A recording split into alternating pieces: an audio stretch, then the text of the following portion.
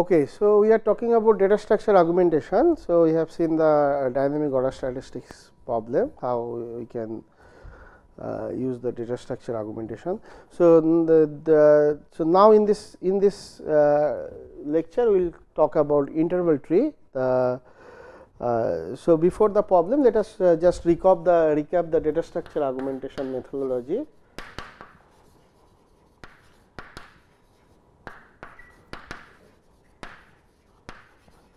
So, the idea is so idea is the methodology is basically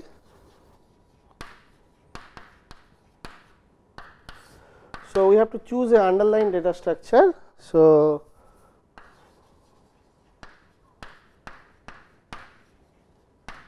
uh, we have to choose an underlying data structure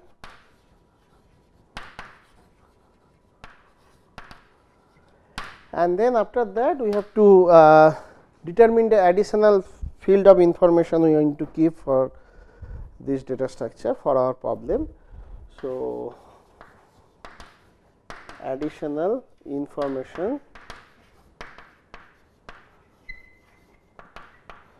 we want to keep and then we have to see how this additional information can be maintained uh, when we do the uh, modifying operation like insertion deletion. If we choose the underlying data structure as a red black tree like we did for dynamic uh, order statistics and then the additional information we kept as the size of the uh, subtree rooted at that node. And then we have seen that uh, modifying operation insertion will not take much is a similar type similar time same time as we uh, do it for the the red black tree. So, the additional information can be maintained with the same timing as the original data structure.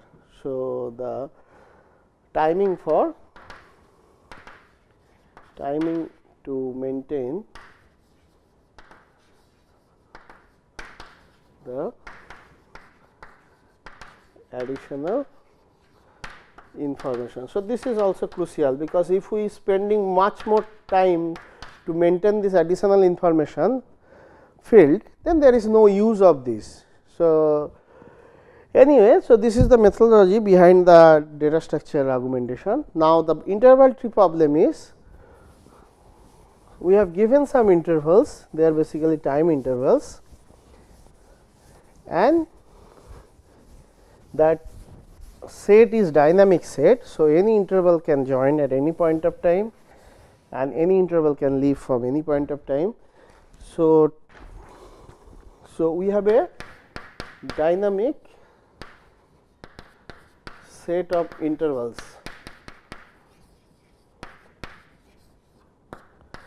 basically time intervals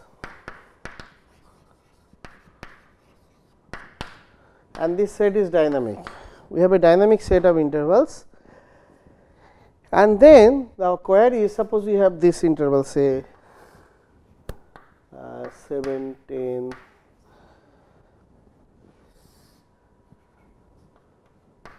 5 11 and say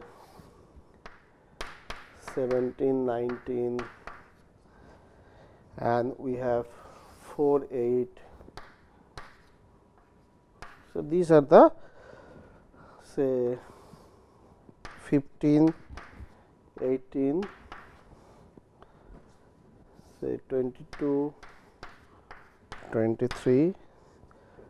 Okay. So, suppose we have a uh, dynamic set of intervals. So, this is a collection of intervals each is a interval they are time interval this is i, i is a interval and this is this is uh, left of i left end point and this is 10 is the right of i right end point. Okay. So, this is basically uh, sorry low or high. So, low low end point or this is the high end point. So, this is low end low end point and this is high end point. So, any interval has two end points low and high. Okay. So, this this this set is dynamic set. So, any any point of time any interval can join and any point of time any interval can leave. So, this set is S set. So, this S set is the this set is basically this set is S the collection of interval and this set is dynamic set. Okay. Now, we need to uh, do this query like this. Then for a given interval, for a given interval,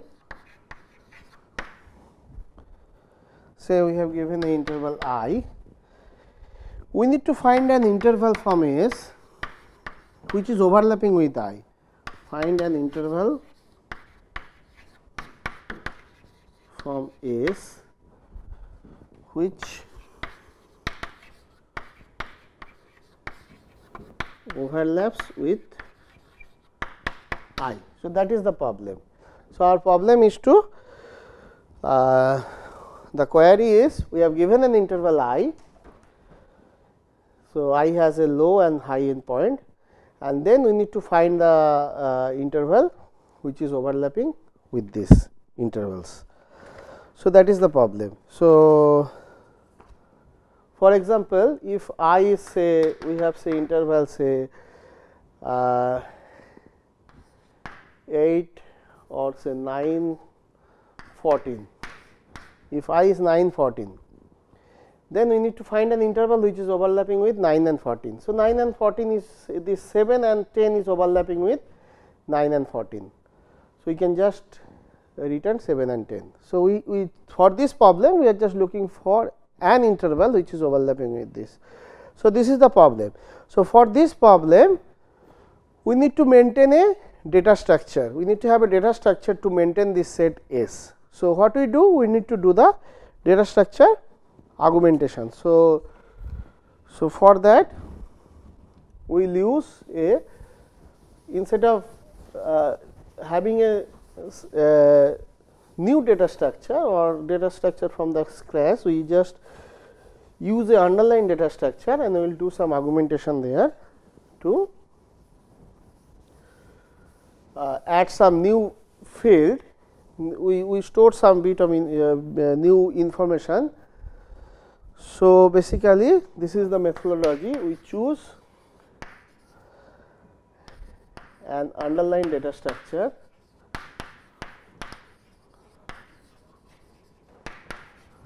and here we are going to choose the red black tree because red black tree is a balanced tree. So, for performation anything can be done in logarithm time. Okay. And then this is the methodology of augmentation we are going to use for our problem. Then we need to uh, have the additional information. So, we need to have we need to determine additional information which we want to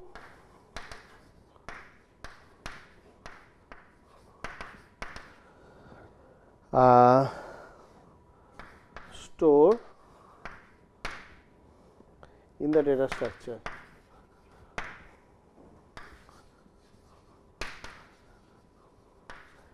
And which will help us to uh, solve our query which will help us to uh, help us in our problem. So, our problem is the interval search problem. So, we have given time intervals and we have given a query intervals and we have to find out the intervals which is overlapping with this query intervals. So, that, that is the problem. So, we need to determine the additional information which will help us to uh, solve our problem. Okay, so this is additional information we will keep the. So, this is the key. Uh, this is the interval basically. So, we will put these intervals over here and here we will use the max m is the. So, basically we keep this interval in a red black tree and using the key value as the left endpoint. Okay. So, red black tree uh, so, basically red black tree, but keys. So, so we will keep the interval each interval is a node and the key dash keys on low low or the left end point.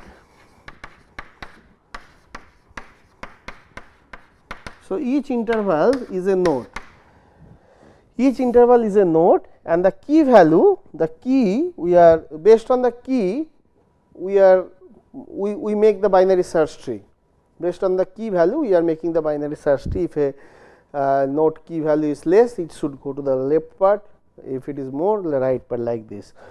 So, we will make this structure the key using the left endpoint or the low of this i. So, each interval is a node uh, which, which is keyed on the low endpoint and we are keeping the this field we are keeping the maximum value uh, rooted at that subtree. This is the basically m of x, m of x is the largest value largest value in the subtree rooted at at x. Largest value in the subtree rooted as x. x means interval x int x. x is an interval. x is an interval. So x is an interval so it has two endpoint low and high. So based on the low endpoint we make the tree the binary search tree. Not only binary search tree is a red black tree and then this additional field we are keeping to store the maximum value of the uh, of the maximum largest value which is stored in the interval rooted at x. Okay. So, we have the example we have given example. So, let us draw the the tree. So, with this additional field. Okay, so we just have these intervals. 5 11 these are the low low and high end points. So each interval is a node and which is keyed as a low end point 8 9 I sorry 4 8 15 18 15 comma 18 and we have 7 comma 10 yeah so this is the these are the intervals we have given. And this is the tree we construct. And based on the low end point if you see 5 is less than 17 so 5 is here.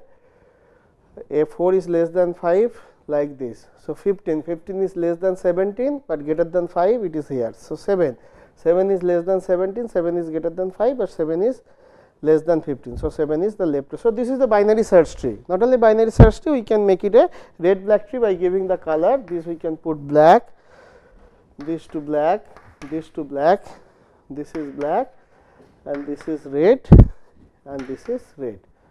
So, we can put this nils. Okay. Now, we need to, uh, so this is the red black tree, this is our underlying data structure red black tree. Now, we have an additional bit of information which is basically max bit. So, this is the interval interval x and this is the max of x. So, max bit means the maximum, so this is x. So, maximum, so largest uh, element rooted at that tree. Now, what is the so this is the nils so they are 0 basically what is the largest element rooted at this tree is 10 because the that is the high end point. This is 8 this is 23. Now, what is the largest? So, this is the 10 is the largest in the left subtree and there is nothing in the right subtree and this is the largest here. So, this is basically 18. Now, what is the largest over here? 8 is the largest in the left subtree 18 is the largest in the right subtree and the largest in this interval is 11. So, this is basically maximum of these 3. Similarly, here 18 is the largest in the left subtree 23 is the largest in the right subtree and the largest in this interval is 19. So, maximum of these 3 is 23. So, formula for m of x basically maximum of these 3 uh, high of x okay, high of x then maximum of left of x and maximum of right of x. So, this is the formula for this additional information. Okay. So, this is a red black tree with this additional information. Now, we need to maintain the how this additional information can be maintained when we will do the modifying operation like insertion and deletion. So, for that the coloring will not be affect much. So, we need to look at this uh, rotation operation how it will affect in the rotation operation. So, to look at that let us just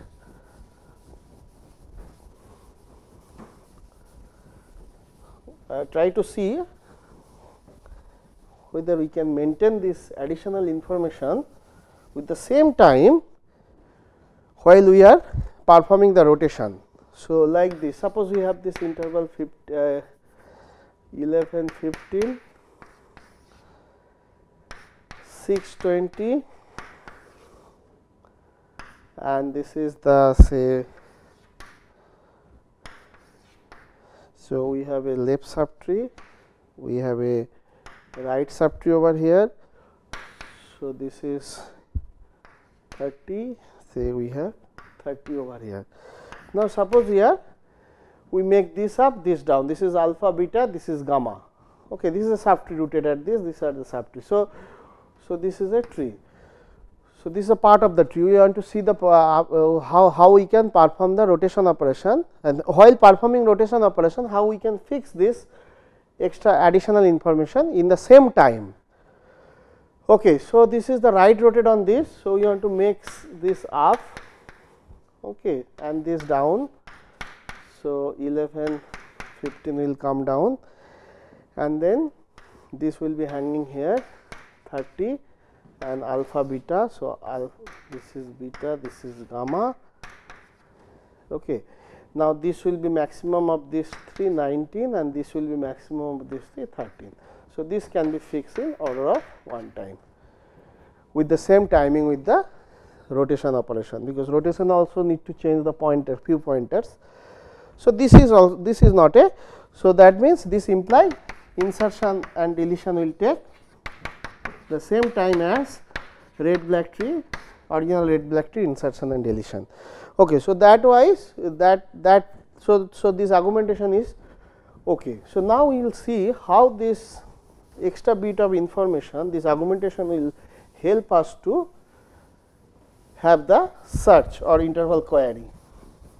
So, that is the interval search. Okay. Okay, so, we have a set of intervals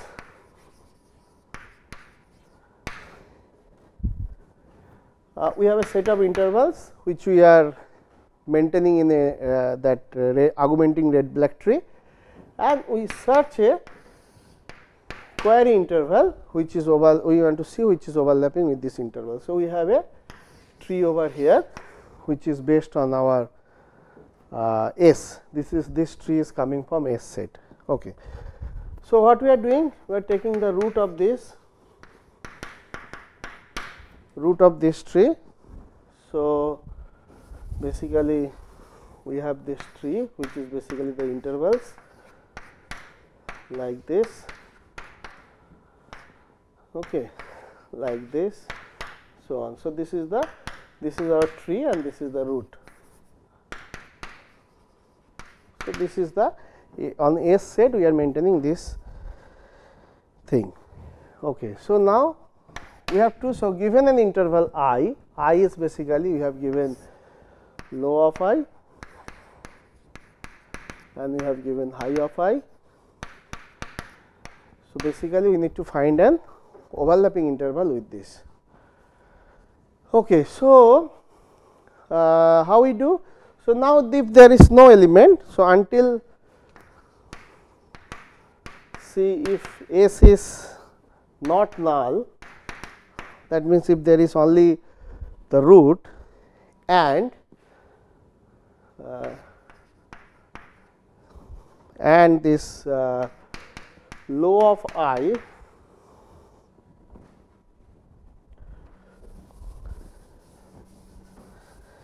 okay if the low of i if the low of i is greater than high of x so this and or or uh, low of x low of x is greater than high of i. Okay, so we have this we have this interval. So, this is our x, this is the root. Now, we check whether i is overlapping with this. Okay, so, this is the check whether i is not overlapping. So, how to check? So, we have a x interval. So, x is having here. Uh, so, we have x interval. So, x is basically having two endpoints. This is the low of x, this is the high of x and we have interval i which is the query interval.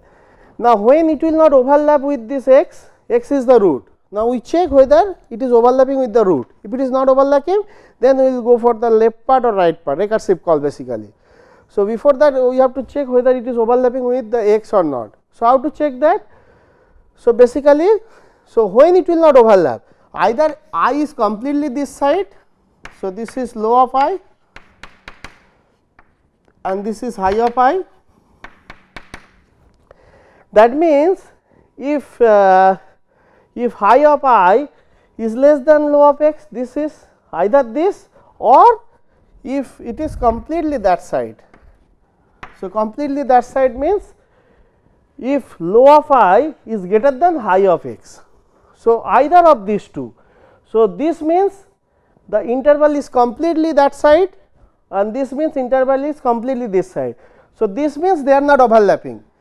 This means this condition means this whole condition means i is i and x is not overlapping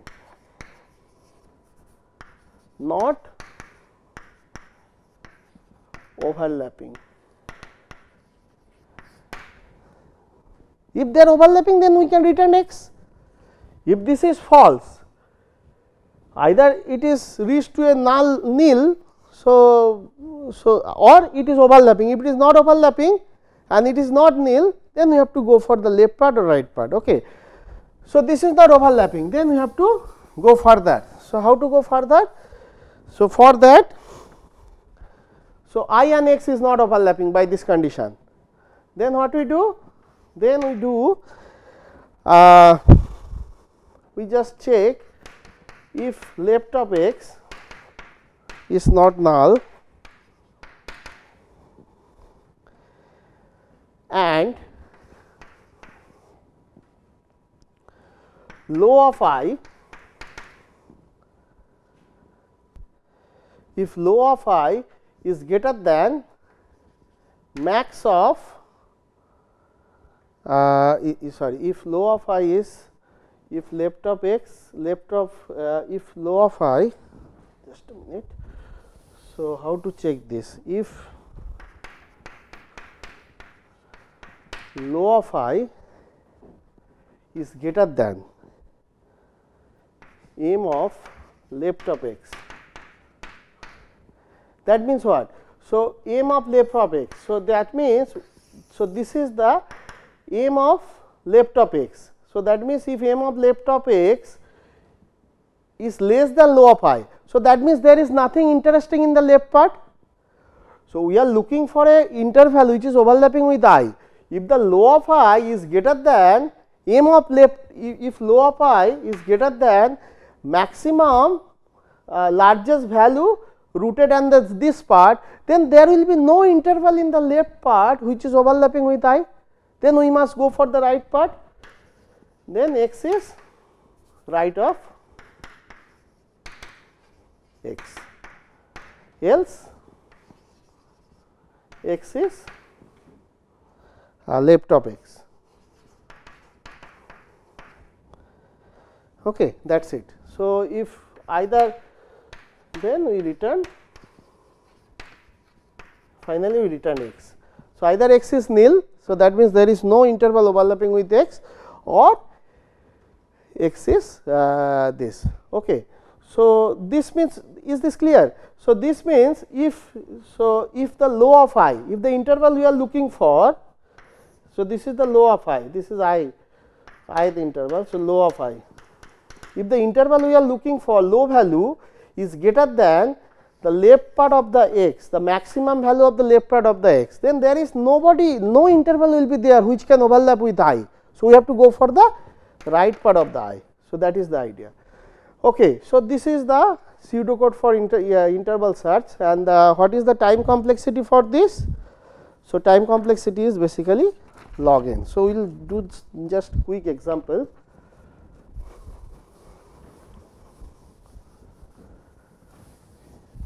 So, we will just do some example on this. Okay, so let us have the interval 17, 19, 22, 23, 5 comma 11, uh, 4 comma 8, 15 comma 18 and we have 17 sorry 7 comma 10 okay and we have the nils and we have the color. Okay now suppose we we search the i is equal to we want to search the interval 14 and 16 so low of i is 14 high of i is 16 so we will just execute the interval search you have seen now. So we start with the root x and we check whether this is overlapping with this so, 14 16 is completely this side I mean it is not overlapping. So, that means uh, and it is not null also.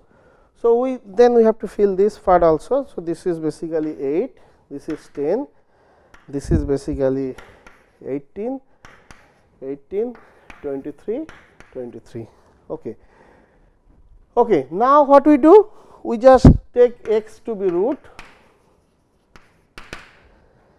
and this is the not overlapping. Now, this is basically 14 is basically less than 18. So, that means we have to look at this part of the tree. If 14 is greater than 18, then there is nothing interesting over here. Then we have to go for the right part, but here 14 is less than 18. So, now our x is this. Now, we check whether this is overlapping with this 14, this is not overlapping with this now, we check 14 uh, left part of this. Now, left part of this maximum value is 8, but 14 is greater than 8. So, there is no uh, benefit to going to the left. So, we will go to the right of the tree. Now, this is our x. Now, we compare this this and this this will be overlapping. So, it will return us this uh, return 15 18 this interval. Okay. So, 15 18 will return. Okay. Now, suppose we want to search for an interval which is not there. So, suppose we want to search say 12 and 14. So, how we will do? So, we will start with x over here. So, it is not overlapping. So, now this for 12 is less than this. So, we will go to this part. Now, this is our x again we check it is not overlapping.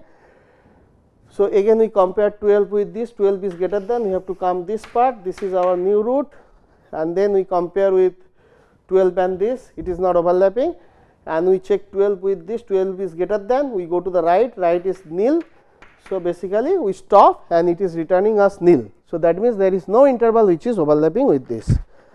Okay, so, analysis of this so, the time is basically order of log n to report one interval. Okay. But the question is if suppose there are k intervals is overlapping with this and we want to retrieve all of them. So, what then how we can do that? Suppose there are k intervals which are overlapping with this interval i which is the given interval i and we need to return all these k intervals. So, how to do that? Suppose k intervals overlapping with i with the given interval with the query interval i and we want to return all the interval how we can do that? So what we can do we can first get the interval which is overlapping with this and then we delete it from this augmented black tree and that deletion can be done in logarithm time. Again we make the search. After deleting that it will give give us the second interval which is overlapping with this. Again after getting that we delete it. So basically the time will be k into log n. So, this is the time to uh, report the k interval which are overlapping with this. Okay because every time once we got the interval which is overlapping we will delete it because this is the red black tree deletion will be in log n time and after deleting that node that interval we again search we again perform this interval tree operations searching and then again it will take logarithm time. So, this way it is the k log n algorithm this is the output sensitive algorithm. Okay. Thank you.